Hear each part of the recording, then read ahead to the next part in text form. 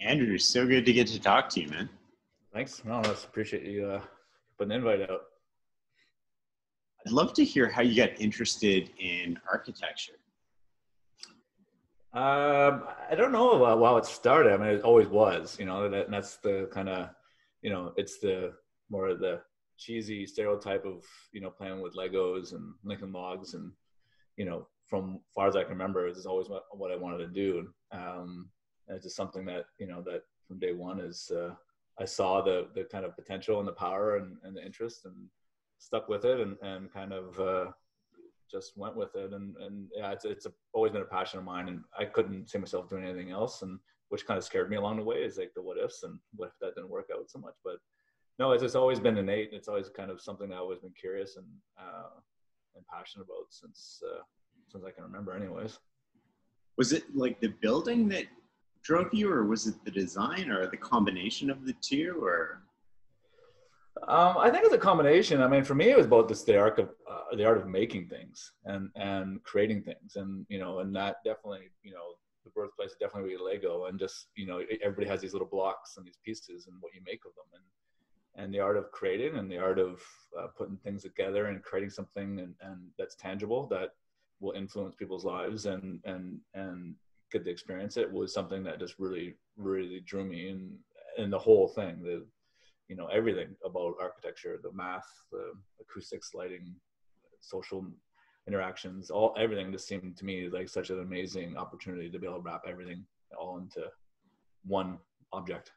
First time we met i remember how passionate you were uh, and just your facial expression like how into it you pulled out a piece of paper and just started like drawing right away. It was amazing yeah i guess i guess you can't talk normally or write or do any other skills but you know we can draw. And that's the only way you can communicate is you know is by the art of making and drawing and, and using your hands too much. But it's uh it is yeah it is definitely innate and it's definitely uh at my core of things that especially now that that i you know have the privilege to be able to practice architecture and and experience it and see it and see how it has impacted people's lives and and how it impacts my own life and my own excitement so it's uh yeah it's definitely not a um an industry that I find, you know, that well, it is an industry that I find extremely powerful and uh, exciting. And I'm interested, I'm interested to talk about some of the changes that you're seeing across residential and business and sort of like restaurants and office space and home office space and acoustics and how all that stuff works. But before we get there, I just want to know, like, did you work somewhere else before you started your own firm, or did you always have your own firm? No, I, I, I went up the, you know, I went up the normal ladder of, uh, of working for a lot of different firms. And my, my view was um, like a sponge is to experience uh, all types. So, uh, and I definitely suggest that for anybody else. you know, so I work for really small firms to big international firms and, and just to make sure that, you know, that, cause I never really intended actually to start a company of my own. I was not, that wasn't, I didn't set out my life that way.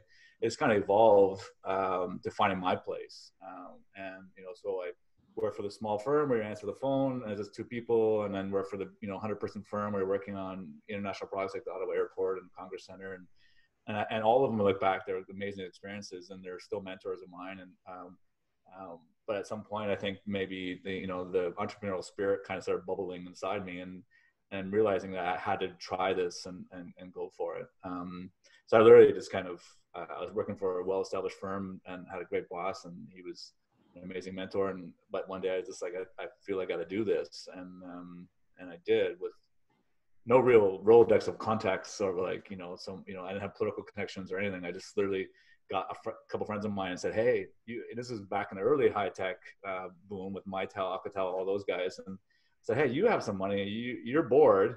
Uh, let's build a house. So we built, literally built the house on spec, and I thought it was more of the kind of you build it, they'll come attitude. You know, and I felt that there was a market for cool contemporary infill housing uh, in Ottawa or in anywhere, but I felt no one was doing it. So if we did it, then my intention was someone will see it and then like it, and then hopefully that would um, that would kind of snowball. And that's kind of looking back. I'm like, I can, you know, I'm like, I would, I would even never do it again now, you know, with the financial risk and whatever. It all could have crashed and burned real fast, but uh, it didn't. We got through it, and ever since then, that's all it's been. As people saw a piece of architecture we did, and then called, and then that you know that house turned to a you know the owner and it was a chef and then ended up in a restaurant and then ended up being another house ended up being you know Tobi and other people, and you know doing stuff for them. So it all kind of the birthplace was all through houses and and doing cool work. But and then you transitioned mostly to like high tech office space almost, right? After residential or in restaurants.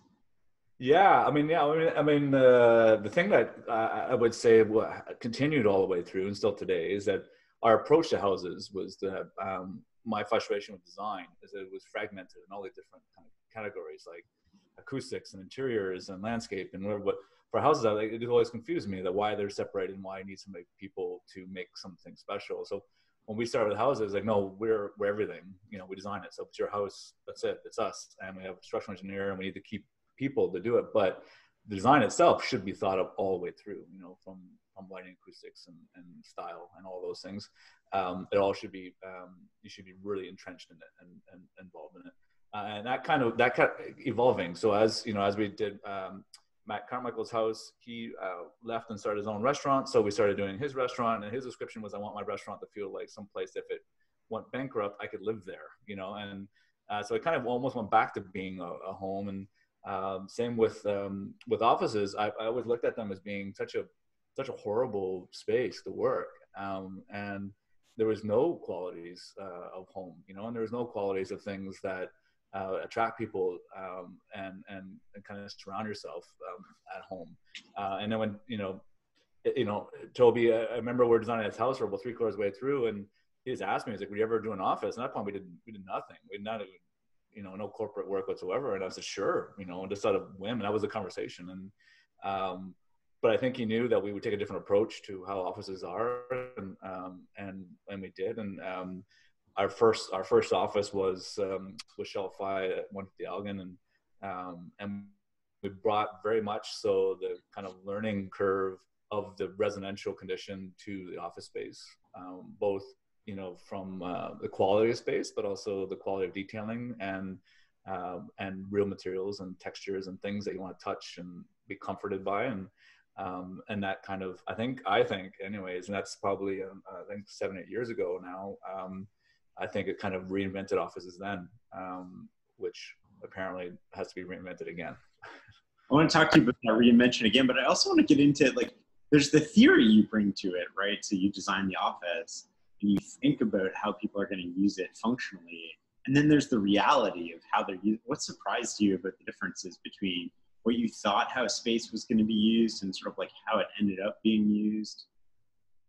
No, that is actually one of the, like that is one of the more exciting things for me, frankly, is seeing the, being in the spaces. Uh, the hard part with houses is you know you, you, you put all this embodied energy and you design it, and it's very extremely intimate uh, relationship. And then when it's over, you kind of just go, and then you never you know there's been houses that we've done that we've never seen again and never been in. And so the cool thing about commercial work, restaurants or, or office stuff is you get to go back and back and see it and see how people are using it and what you thought you know would work and and how they use it and surprises and all these kind of fun stuff all percolate and and you learn from that and see how people sit and how they touch and how they work and how they you know where they gravitate light or not light and introverts extroverts and all these different spaces and the permeabilities of all those things. Um, but for us it was you know it's always been consistent that we're um, we always look at things as the character of the, of the people in the place. So you know that that people could be the the corporation uh, uh, that place you know could be on a mountain uh, or it could be in a you know generic office tower. So it's it's it's taking all the factors and kind of uh, understanding them and appreciating them and then coming up i think with the best resolve of all of it. Um, that's and, and i think that's consistent with restaurants or houses or condo towers or whatever. And and and for us, what we get a kick out of is questioning it and starting anew all the time. You know. How, how do you see homes and offices changing uh, with maybe it'll be a sustainable push to work from home? How does that change how we live in a space that we work in, and how does it change the requirements of office spaces? How do you reinvent that? How many uh, how many hours do we have? no, uh, you know, I, I, know we spoke a couple times, uh, and I've been uh, kind of on the last couple weeks is talking to different um, client, past clients of ours, um, and tech and uh, housing and, and restaurants, and just trying to. Uh, I think I think as an architect, I think the, what interests us and drives us most is um, is just understanding the social norms and how people interact and how people are doing things. And that's, you know, in, in such a bizarre world, this is an extremely exciting time to actually rethink things again.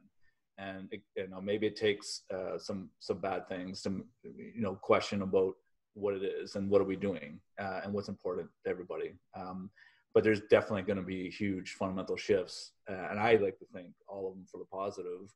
Um, just my observations of, of, of, talking with people and listening to people.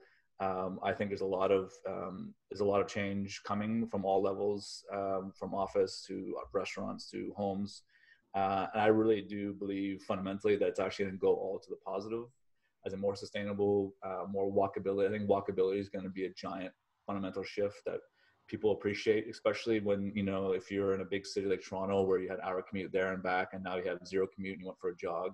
So I think all the social um, uh, interactions of how people live, um, they're they're awakened from to that, um, and I, I, think architecturally, what we get a kick out of is being able to respond to that. Um, I don't have a I don't have like a necessary like um, Office 2.0 solution for everybody because I don't think we've never approached that no matter what. Um, but definitely, there's going to be major changes. I don't I don't find it minor, and I I'd like to believe there's going to be a lot of good that comes out of this, and that's where Linebox is right now. What we're focusing on is all the good that's going to come out and how to respond to it and be a part of it uh, and jump on that right away. Um, I really think it's like going to be a hybrid. I think people are going to want to be closer to work. They're going to want to work from home, which will fundamentally shift um, what a home design is. You know, in neither retrofit, uh, you know, existing homes, but definitely for new and, and apartments, especially. We're we're dealing with clients that are doing major apartments that have kind of revamped it now. They said, wait, put on hold, which is a positive thing. You know, um, not so much as a businessman, but as a, a, person that's an architect to be able to re- reinvent that. Is what if this apartment can uh, house a, a, a proper at-home office with proper acoustics and lighting and comfortable and ergonomics and all those things. So then you can then walk and go to work and maybe work just becomes a touchdown space and for real collaboration and real social interaction. Because i do believe we're gatherers. I don't i don't believe in the kind of uh, recluse uh, area. It's cool for now and it's an experience now uh, but i do believe human nature you want to gather and you want to collaborate and you need you fundamentally need uh, accidental interactions and you know that was the, one of the design principles of shopify is that when we first did one for the Elgin is to scatter execs and scatter people. So you're forced to have accidental interactions and accents are good. In good cities, accidents happen all the time that you run into somebody on the bus and you have a conversation with your best friend and or your exec coming down, a new hire is coming up and you come up with a new app that you yeah. never knew. And you need those accidents. Um, but maybe not every day, you know, and maybe it's now a different shift. Um, does it. change like the space requirements of office space or space usage.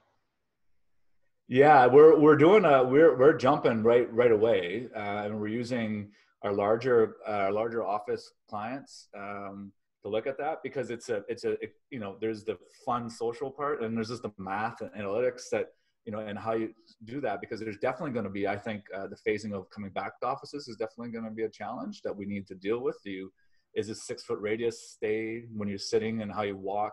You know, so then if you're coming into a, a bay you know that one little door doesn't work and you want to make sure how you cross so is there a retrofit thing or is there a reorg thing?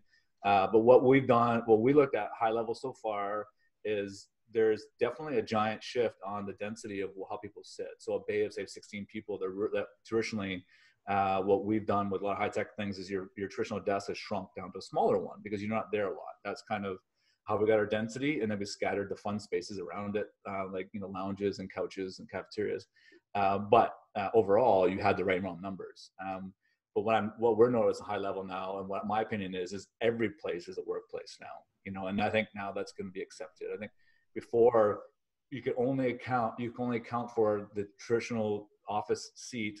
It, it was your total number. So if you had 100 people, employees on one floor, it's only because you had 100 traditional seats. You know, um, when we always used to argue, uh, well, no, you work in the cafeteria, you work at the at Cody's Cafe at Shopify as much as you do in a bay. And I think what's now going to be generally accepted from all levels, from accountants to CFOs, all different people, is that every place is a workplace. So I might lose a lot of seats in that dense bay because you don't want to be, and maybe that happens forever, that you don't want to be fundamentally so close to people. Uh, but now we can, that couch is now, yes, that's a bum seat. And, and a little shelf in the hallway next to a whiteboard wall, that's a bum and seat. So the numbers will, will um, you know will come up um, and be generally the same. as an area, uh, overall area, we're still figuring that out. And I don't, I think there's going to be, I think it's a reduction of area. I think it's offices can be a bit smaller, but it's not maybe as dramatic as people would like to think because you, you still, you know, you're losing some density on one side and gaining it on the fun. But what I do, I do believe though, um, is this is going to be a true test of all offices all around the world, from tech to lawyers to accountants, up your quality of your space and your quality of of your culture. I mean, if, now that people are at home and they've been tethered, uh, detethered, uh, they like their home and they like the people in their home. Um, so to get them to come back and want to come back, it's a true reflection, you know. And a lot of a lot of corporations have a bit of mirror on their face, going, "Whoa, maybe, you know, maybe our space does suck, you know, and maybe our culture isn't strong, and maybe we got to fix that." Um, and I think that's the positives that are going to come out of this. That you know your workplace needs to be you know as comfortable uh, and as uh, uniting and as you know all the qualities that you would describe being at home with your family, you, you need to have that in your office. How, how does it shift the family dynamic? Like if you're working at home and you're surrounded by family and all the time, like how does that change how you think about space and privacy or acoustics or any of the, the what are the considerations? I don't even know them. Yeah, no, it's uh it's not i mean i live in a house that i designed and uh it, it's not working you know and uh so there, there's what i love we learn from it uh, i had to send everybody out for for right now you know because like you know i'm trying to zoom even our day-to-day work i'm trying to go around the, which is kind of fun to go around the house in different spots and like i said everything is a work spot now i'm literally sitting right now uh, outside my rooftop is right out there this is a little kitchenette, you know, and it's all about four feet. And I took the fridge out and moved it, and now I work up here because the sun comes in. You know, so but it was never intended to be a workplace. But if I knew going in designing it, I probably would have changed things differently. What would you have done differently? Well, like what I think we just said, like proper lighting, proper acoustics, and proper privacy. Uh, those kind of things uh, need to happen. You know, it's very difficult. It, it's romantic to say, let's all hang out as a family. Uh, and you're trying to get something done, and you're hearing your kids fight and yell and scream at each other, and it's just not, it's just not. Yeah it's uh you know i have a 11 and 8 year old so it's you know they're gonna and they're stuck together so they're not exactly loving each other all the time and um, so there's going to be that thing but how do you retreat and get away and it's very much based uh, when we our first office like i said with shopify is that that was one of the big things a couple there's a lot of different uh, things but one was the, you know the character of shopify and who they are and the quality of space uh, and definitely trying to bring home back into the office.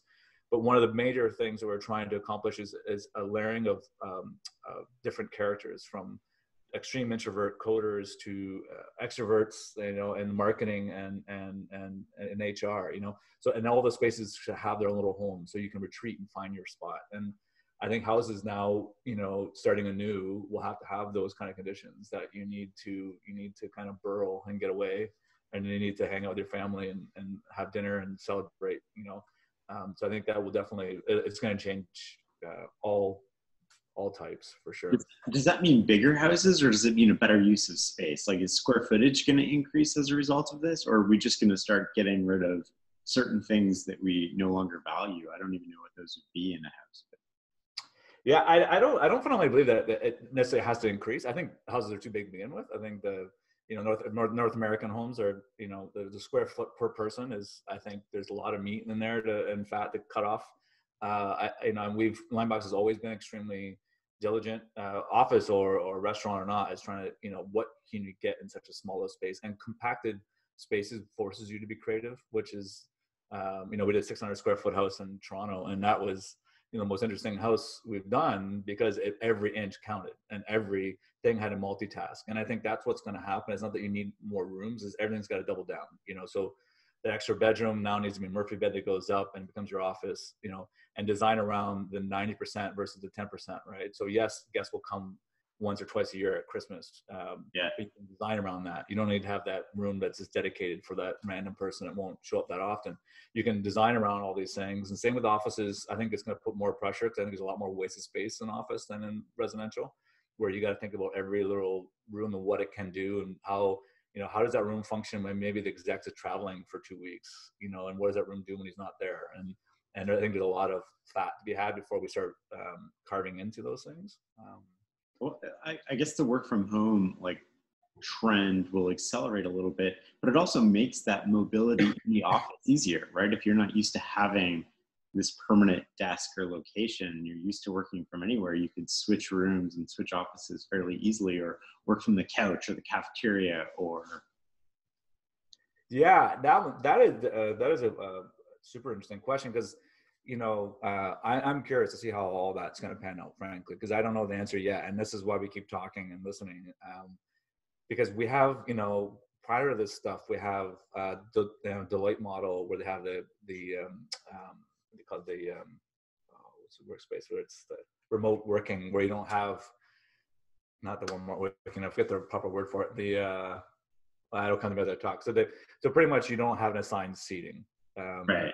You just come into your office and you wander and go. And Deloitte has that, and they're and they've been using that as a platform for other office spaces and whatever. And it has its place, and it, I find it valid. It was done in the 50s and 60s. The the struggle with that though um, is a human psyche. One wants their little spot. You know, I yeah. want my picture of my family. It's mine. Uh, including now realities now how about cleaning how about whatever are you comfortable sitting at that desk that someone else has sat at yeah. Uh, hoteling, there it, it, comes up now. So the, the premise is you come in your office, you have a, a, giant room full of lockers, you put your stuff in there, and you wander and you find your, your seat.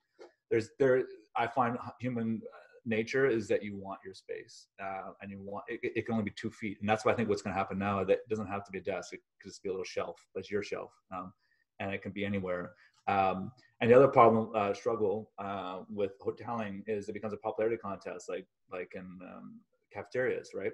It's very obvious when no one assigns seating where they seat and who likes each other, you know, and and it, I think that was some of the feedback I got from uh, hoteling was it was very obvious and people run in. And the third part was uh, feedback from that is that people just don't want to think, you know, we got enough going on. Yeah, yeah. I want to come in and think, where am I sitting? My best seat, my best, and then I'm rushing into work because I know the cool seats are over there by the window and wherever, wherever those things are. Um, this is one more thing to add. So um, I, I, I definitely see the, the, the idea of this kind of like fluid, you know, that you come into an office and you collaborate, and maybe there is no desk at all. Maybe that's what solves that condition. That it's just about coming together and having these, you know, cool moments and and and collaboration experiences. Um, or you have this little this little thing where I set my little laptop and I still have my picture of my my child sitting there, but it's mine. Um, and I, I, I don't know the answer yet, but I uh, I don't. I mean, I could be 100 percent wrong. Um, I've been wrong before, um, but but as an architect that that believes in and the kind of human spirit, I, I just think that that's not going to fundamentally change. Um, though the design of it, yes, 100 percent will change. What are some of the other considerations for human nature in an office space that we don't tend to think about? Like, I love how you relate that back to the psyche and how people want to have their spot and their space? Are there other things that are, are obvious to you but not obvious to people who don't think about this all day every day? Uh, I think people. Are, I think people uh, coming out of this stuff are going to be, um, especially employers, um, are going to be more appreciative and more kind. Frankly, um, that if you're sick or um, you know you got a cold it's okay you know stay home and and it works. And and when you're in a space it's i think i think people are actually going to be more more united. And there's going to definitely be that the hangover of keep your distance. And and i don't know how that is that a month like five years? I don't know exactly how that works. But i think overall i actually think that it's going to be that people are more kind um, to each other. And and that uh, that word um, can be designed around too, like how you sit and how you talk to each other, um, where you sit and, and where you zoom and, and eye to eye and experiences of social interaction. Um, I think that is uh, super interesting to me because we've dealt with it so much and um, and so much so that you know um, when we designed Matt Carmichael's house originally, uh, you know when I, we first started talking to him, um, him being the uh, you know the star chef and then when I come in and say, okay, we're going to do your kitchen, it made me nervous as hell. So I'm like, I don't even know what, what do you want? What is all this equipment, all this kind of stuff. And I think this leads into a little bit what's going on now. So it wasn't about equipment. It's not about your camera. It's not about, it's not about the, you know, your high tech crazy, you know, box thing and whatever. Uh, so for him as a chef, it wasn't about those things. You know, it was, he had normal fridge, normal pots, normal whatever. It was about the experience of eating, you know, and obviously he comes with a confidence that he knows what everything that's served you is wicked awesome. But, um, But if you look at Pretoria, uh, what we did is um, it was about the start and the finish of how you eat around the kitchen. So his main thing was that he always wanted to make sure that eye contact was at the same eye eye level at all times. So you sitting on the back of the island and him cooking while he's cooking and wandering and, and doing what he's doing, you're having interactions and you're talking with each other. And he was more about the spirit of uh, what it is to eat than it is about the food itself. Um, and he wanted to make sure, even as he's plating and whatever, so we did the island so he can pull out the plates while he's still looking at you. Uh, and I think that is where the shift will happen uh, for office spaces. People are going to uh, pay attention more to the human condition than they do about the technology. I think, you know, um, so you can have the, the best camera on the, on the planet with HD and all that kind of stuff. But if you're hunched over, not looking at each other, not interacting, you know, I think fundamentally, including offices we designed, the meeting rooms are horrible. Like that, a TV's off to the side, and it could be the most important person in the world, but he's off to the side, or she's off to the side, and not a part of it. So how do you design it so when we do meet, we're looking at each other in the eye, and we're having good conversations. You're important. I'm important. It doesn't matter if you're on TV or in real life, and um, that that will will shift. And I fundamentally believe that you don't need technology to do that. You don't need a forty thousand dollar AV room to do it. I've seen them and been in them. They still sound like crap, and they and they still horrible. And I think it's too much geeking out on the equipment and not about what how you use the equipment um, right. and how you surround it. You know, um, that's I think I think that fundamentally should shift uh, and and will.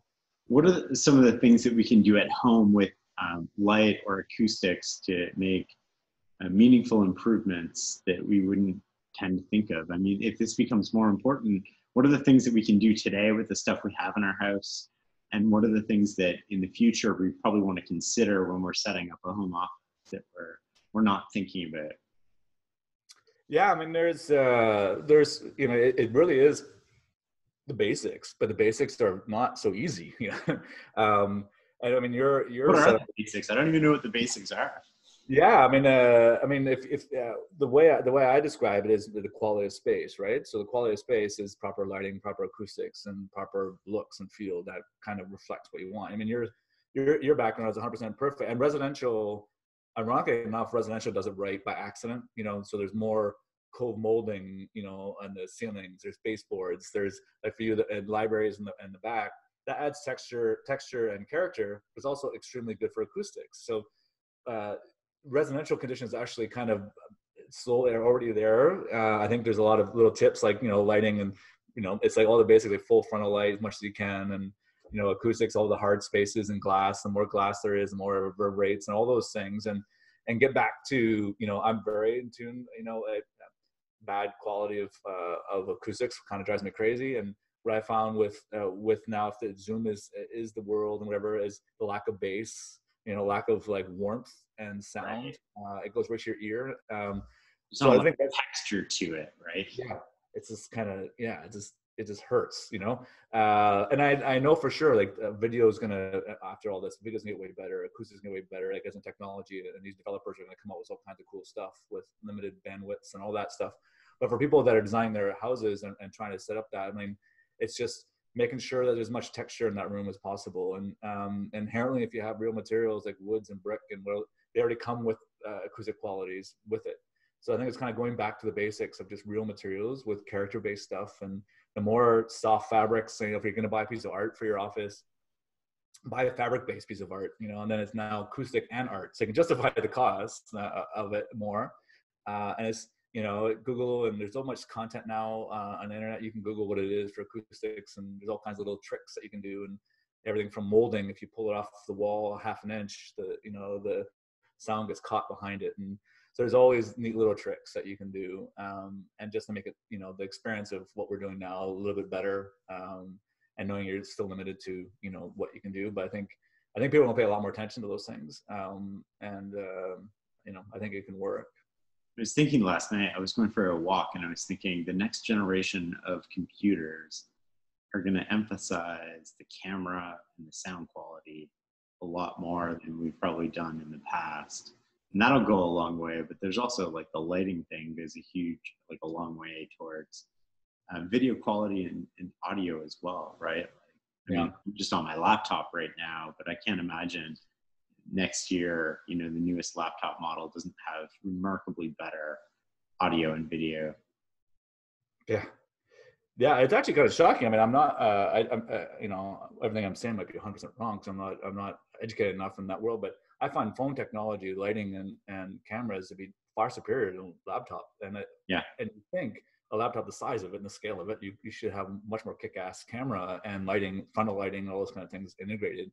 And I'm pretty sure that's what everyone's probably developing right now as we speak, um, because that is, you know, there. I mean, there's some non-knowns, but they're 100% known. Like the, you know, the the day, you know, of being afraid to Zoom or do video meetings are over. This is now part of uh, your culture, and I think the technology will will will go gangbusters for sure. That we can trust. And now, how do you support it behind it? Because no matter what camera I put in this laptop, you still gotta be the right environment, or it, it'll fall apart. Uh, and that's what I found with traditional offices. They they put so much money in traditional boardrooms, and it still doesn't work. And the mics are hanging in weird spots, and then every time I go in there and they're rebooting the whatever box they have and all this kind of stuff, and you know this ten thousand dollar TV and it's timing out, and like so it's it's it's bizarre that the, your laptop, my laptop, and it's still pretty good. We can talk, you know. Yeah. And uh, so now it's more, I think, more about how you sit, where you sit, what level you sit at, how comfortable you are, uh, ergonomics, all those things now are more important. Um, I don't think we need to have a, a ten thousand dollar uh, projector, you know, to get the point across and have a conversation. Um, I, I, I, mean, hugely biased, but I put that money in the space, not, not the camera. How, how do you, how do you see restaurants changing? Because I know you've done a lot of restaurants, you've done a lot of famous ones in Ottawa, and you, talk to chefs all the time and restaurant owners. It, do we come back with this sort of like same thing and maybe smaller restaurants? Is there going to be a move to like cloud kitchens where almost everything is delivery based? And so we, we sort of like get rid of the middle so we have fast food and we have cloud kitchens and then we have these really fine dining experiential type things but more limited capacity. Like how, how do how do you see this going well i mean that one uh yeah the restaurant scene is um, a bit more I would say more personal to me because uh, it's the you know uh, we we have not uh, designed a lot of restaurants and we get to know everybody there in the industry and um, especially you know what it's going through now it's it's a shame like it's um, it's there's businesses that have you know that are going to lose some money they're going to wait for some tax breaks and do whatever but there's restaurant industry is just just getting annihilated and um, yeah. it, it it's uh, it's no fun to watch especially when you know the people doing it because they're doing it for other reasons you know? Yeah it's not about it's not about your holding company and uh, and all those things. They they passionately i mean i, I like think i'm passionate about architecture but uh, you meet any one of these chefs and um, and people in the industry that you know the amount of hours they work regardless of the stuff that happened now the hours they work the energy they put into it uh, and the belief that they have in what they're doing um, i think supersedes almost any industry that i that i'm aware of uh, and that's why we continue to do restaurants because it's our you know, there's no money to be had for us either, but it's fun and we're meeting some really cool people. Uh, so to watch it kind of crumble and around us is not no fun, um, and it's real. And we, we we've spoken with all of them, and um, there's a big difference between you know uh, not not doing great this quarter to uh, just being done, um, and that's that's kind of the reality. Uh, I you know, and this is definitely denial stuff. I hope it doesn't change at all because I think um, restaurants represent uh, the good and how people can come together and collaborate and, and, and experience and be in the same space um, and the energy and the talking and that you know a proper restaurant that's what makes it different than making a cool steak at home you know uh, you go there for that whole thing that that is there i know there you know and, and in this world everybody's when the one thing i've noticed is that everyone's getting being creative no matter what you are you know you're a doctor and how do you, how do you stay safe? You're trying to you know deliver packages you know you're trying to run a restaurant. Everyone's getting creative which is energizing in the sense that you see something like wow that's how you came to that resolve. Um, right. and seeing you know even the government now is saying hey you can you can allow restaurants to deliver and also bring a bottle of wine. You know that's okay. You know maybe the rules were pretty fucked up you know and so uh, and i hope that the creativity part um, happens through legislation and through legal and through government so we all kind of like maybe these things were a bit too extreme one way, and maybe we figured out. Uh, definitely in restaurants, I can see people really. I know New York City's already doing this, like how you can like have these like black all these kitchens, and um, and and having like you know the cool thing with say like El Camino is they have their their restaurant and have a little takeout thing too. So I kind of inherently already had a, a good mix of that happen. But I really don't. I really firmly hope that that, that of all industries that change and transform, I hope that one doesn't. It might have to uh, because of uh, this is what the social norms are. But I like to think that back to everyone being, being kinder and wanting. I think people are going to want to congregate again and want to be together. Um, I could be wrong, but I hope that industry doesn't change. yeah, there's a good argument to be made that we'll want that more after this in, in some ways, but it might be trusted groups of people instead of um, yeah. strangers, right? Like it might be trusted networks.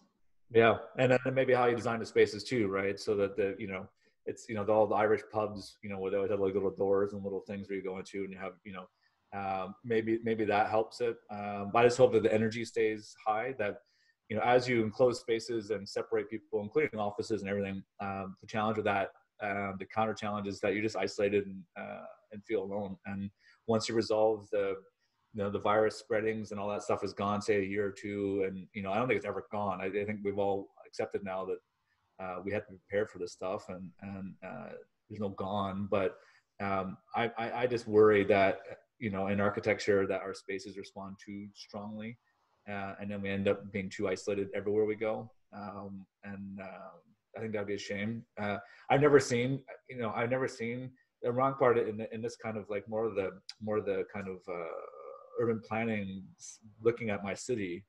Uh, I've never seen uh, so many people on the streets, so many people biking, yeah. so much healthiness going on. And I sit on my front porch all the time, always have, always do uh, and prior to this stuff, I bet you if 10 people walk by, one one would say hi. Now everybody, and I, hi, but not only that, like a smile, like a real smile. And it's just, it's in this whole world of, of be apart. And uh, so I've never seen so, so, opposite, you know, where there people are connecting uh, and the right, I find the right percentage of people, like the right amount of people on the sidewalks and right amount percentage of people in cars is the right formula right now.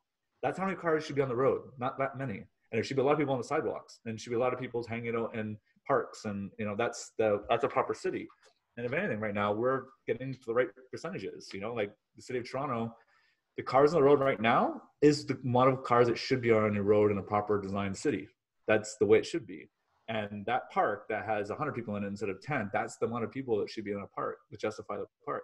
And that i think is a healthier city. The air is nicer you know it's less pollution. This is actually, if anything, Mother Nature pretty much said like, "Oh, you're stopping the whole world. Maybe you want you can't figure it out yourself. I'm going to do it for you." Uh, and so I think a lot of uh, like three days. Yeah, exactly. to shut down, you know, enough. And the, and the Earth's breathing right now, you know. Uh, and I, I like to think that people are gonna, you know, appreciate a bike ride now and appreciate a good walk and appreciate a, you know, a high and uh, get to know your neighbor. I know more neighbors now than I've ever had by name, you know, and yeah. Uh, yes, we're seven feet apart or ten feet apart or whatever it is, but we wave and we say hi and uh, and we get the little interaction. So I think I think I think there'd be some good that comes out of it. There's a unique community feeling that I see like percolating, which is now we're feeling a part of something in a way that we, you know, when you go to work and you come home and you're outside a little bit, but now we're all going through the exact same thing at the exact same time. And not only in our city, but in our province and our country and every country around the world. So everybody's got this, we're all going through this thing together. So there's this almost a feeling of like more compassion and I'm a global citizen, like I feel a part of. And so hopefully that makes us uh, kinder and more thoughtful towards each other. And the other inspiring thing about this is for the first time ever, maybe we're all facing the same challenge and the best and the brightest people are, are jumping on this problem and we're all uniting uh, to try to solve it. No, totally. That you know, it's uh, it's it is uh, it's absolutely fascinating to watch. How many people from you know the rich is the rich, poor is the poor? How many people are just all going as much as they can and pouring every intellectual property, every mind, every brain cell, everything they can do to you know to get through all this stuff and like I said, the creativity and the creativity it can be through finance and through everything, but just how people are figuring out how to convert factories over to make masks and how it's it's it's insanely um, inspiring to see uh, all this stuff all happening all around you and uh, even kids like I think I mentioned to you before is that you know there was a girl down the street that had a birthday and you know it, it sucks that you're in this environment. So all the kids got together and decorated their bikes and rode by, you know, like happy birthday on their bikes. And That's awesome. so like even they like even they were forced to be creative. Like how do you say happy birthday with you know all the rules and all the stuff.